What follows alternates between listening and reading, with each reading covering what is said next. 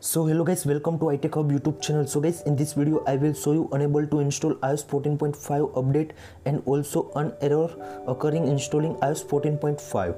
So guys lot of iPhone and iPad user reported to unable to install iOS 14.5 update on iPhone 7, 7 Plus and also another models. So an error occurring iOS 14.5 update on iPhone as well as iPad. So guys in this video I will show you how to fix that issue on iPhone and iPads. So guys now I will show you some solutions for that so easy to fix your problems.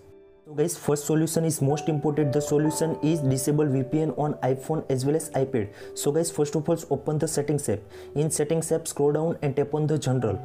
In general scroll down and you can see also VPN settings. So guys please tap on that. If you turn on VPN settings in your iPhone and iPad. So guys please turn off the VPN settings in your iPhone and iPad easy to fix your problems so guys now i will show you second solutions for that issue. So guys the second solution is most important on iphone as well as ipad. The second solution is turn on and off aeroplane mode in your iphone and ipad. So guys first of all open the settings app. In settings app first option is aeroplane mode. If you turn off so guys please turn on aeroplane mode in your iphone and ipad. After 20 to 30 second wait then again turn off aeroplane mode in your iphone as well as ipad and easy to fix your problems I will show you third solution. The third solution is most important. The solution is check your iPhone storage in your iPhone as well as iPad. So guys, first of all, open the settings app.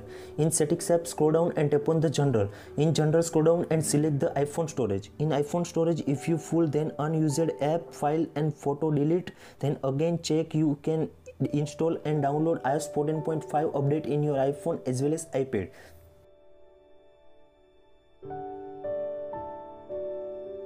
So guys now i will show you fourth solution. The fourth solution is most important. The solution is restart your iphone and ipad. So guys please follow the steps and easy to fix your problems. So guys first of all find out the settings app in your iphone and open.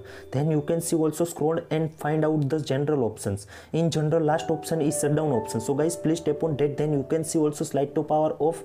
After 20 to 30 second wait then again turn on your iphone and ipad and easy to fix your problems